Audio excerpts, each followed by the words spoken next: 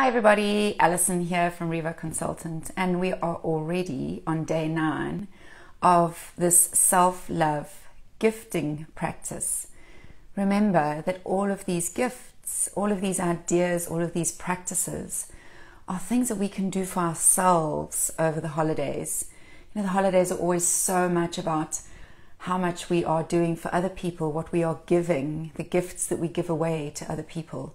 So, why not prioritize yourself just for five or ten minutes today?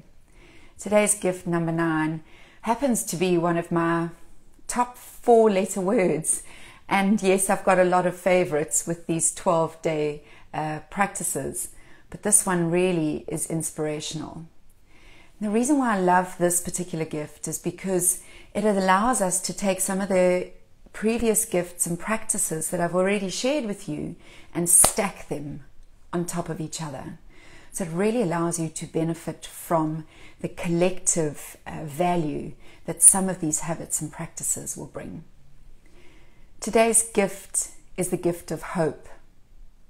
To have hope is to have an optimistic mindset.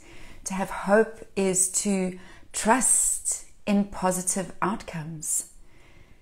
Most important, to have hope is to believe in tomorrow.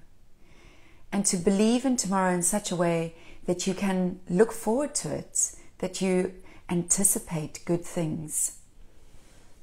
Round about this time last year, I read a definition of hope that said to have hope is to cherish and anticipate tomorrow. Isn't that such a beautiful way of describing hope? To cherish tomorrow. Hope allows us to look forward to what's going to happen next. It allows us to imagine ourselves into our vision and into our future in an optimistic way. And because we can do this, because we can look into the future in this optimistic way, it allows us to plan for a better tomorrow. Hope is magical in so many ways because to have hope in this way, it allows us to face our future with the knowledge that we can overcome our challenges and our hardships. Because with hope, we believe and we trust that we can do something about those challenges or hardships that we might face. There are two things about hope that's really important to know. The first one is hope. Hope is not passive. Hope is not sitting back and hoping for the best. Hope is really about taking those important steps. It's about setting time to set your goals. It's about being disciplined to focus on your goals. Hope allows us when we are um, demonstrating hope in this manner, in this productive manner, hope allows us to keep moving forward. That's really important. It might even sound to you like hope is starting to sound a little bit like resilience. Possibly is. Two sides of the same coin. When we have hope, we can build resilience. When we are resilient, it allows us to demonstrate hope. Really, really great competencies to build and boost, even in our personal life. And when we are resilient, we take each day as it comes. We are quite realistic about where we are. We're re- realistic about our challenges and our hardships. We see that future in an optimistic way. And resilience, importantly, is about keeping moving forward. It's about taking those next steps. When we are resilient, it allows us to lead a fuller life. And I don't mean this in a, from any perspective. Those of you who know me, you know that it's not meant in a, in a manner in which we are judging where we've come from, but we can lead that fuller life because with resilience, each time we overcome a hardship and challenge, we learn, we grow, we adapt, we build our perspective. So we lead a fuller life from that perspective. So, in, in a sense, hope in itself allows us to look forward to that fuller life. The second part about hope that's really important to notice and remember hope is not a Pollyanna, sickly sweet positivity. Hope is very much grounded, realistic. It comes from that authentic self.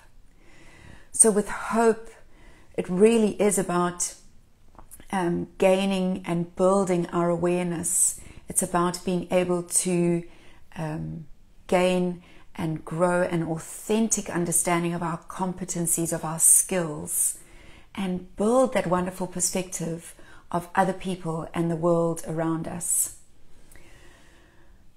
When we're being realistic, we are setting ourselves those goals that will allow us to keep moving forward.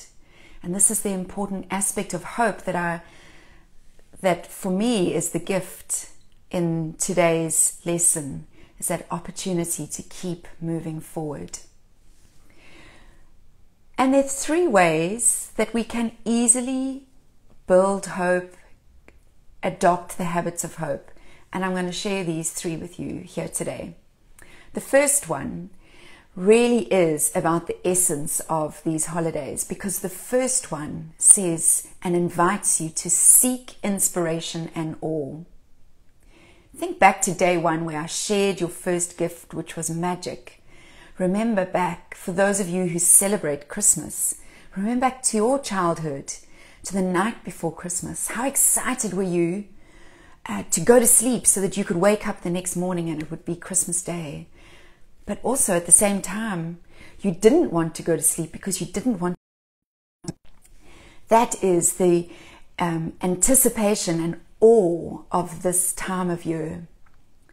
So seek out those magic moments where we can connect with that inner child, that inner child that looked forward to the future, looked forward to tomorrow with a sense of excitement and hope.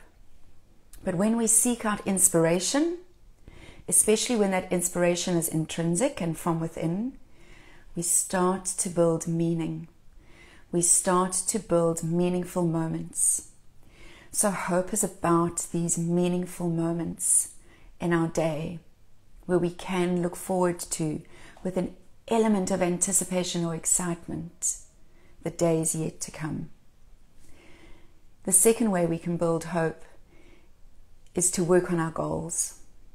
So, if you've already set yourself some goals for 2022, that's amazing. If you haven't yet, maybe you'd like to just grab a pen. Those of you who know me, you know that this is my favorite uh, tool in my kit box, my pen. Grab a pen and just think about some of your goals for 2022. Hope invites us to get crystal clear on what our goals are. What do you need to do? How do you need to do it? Who's going to support you? What knowledge do you need to gain? Get really clear on your goals.